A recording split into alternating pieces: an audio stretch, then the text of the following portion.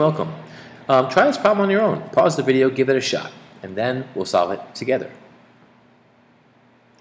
All right, let's read the question. What is the equation of the line that passes through the point 4, 12 and has a y-intercept of negative 2?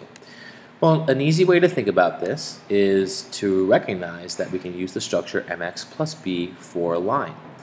Now, what this means is this little structure says that y will always equal m, the slope, times x, so its slope is for m, times x plus the y-intercept, right? This is the template that always works for every line. There are other templates, but this one is great.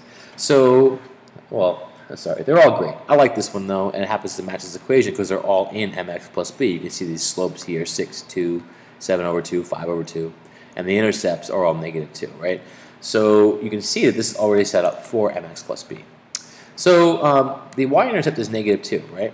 And they're telling us it passes through the point 412. So the only thing left to find is the slope.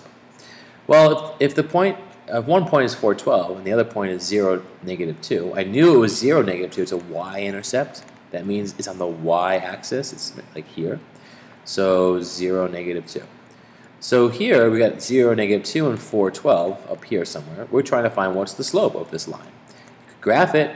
You could think how far up and over does it go to get from one point to another. Remember, slope is simply rise over run right? How far up do we go? What's that distance? It's called delta y, or the rise, divided by the run. So if you can picture that already from this sketch, you would know. Just find delta y, how far up from 0, negative 2 to 412, and how far over, and then divide those two numbers, that's your slope. But I'm going to use the equation instead of relying on the graph here.